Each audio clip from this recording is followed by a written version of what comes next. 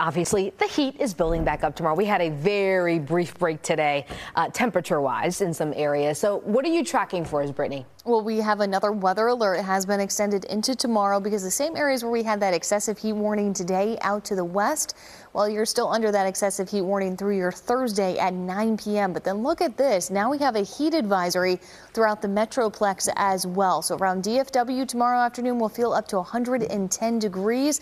And then a little bit further out to the west, we're looking at those heat index values getting up to 112.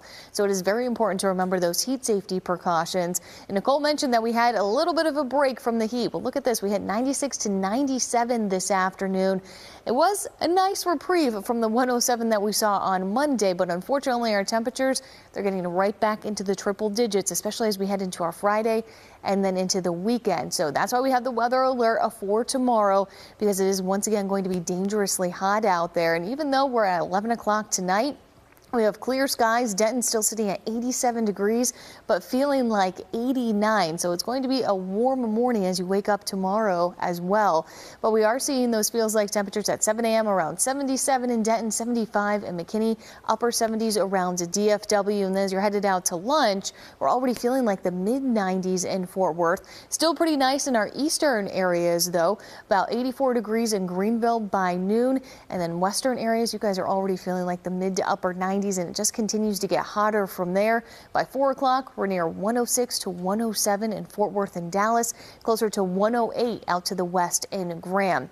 And unfortunately, we're not going to see any significant changes over the next seven to 10 days. So that means that the elevated fire threat that we've been telling about the past couple of days, that's also going to be continuing for areas west of 281.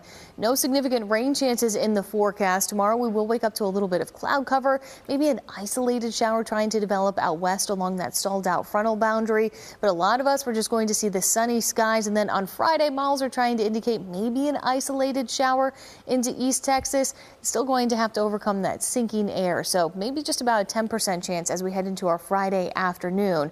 But rainfall totals are not going to be much over the next seven days, maybe a quarter of an inch. Best chances will be into East Texas. But as we get into early next week, we are looking at a little bit more cloud cover moving in. Notice that 10 to 20% rain chance. This is with an area of low pressure that's moving in from the Gulf into South Texas. We'll try and see if some of that moisture can actually make it up here into North Texas.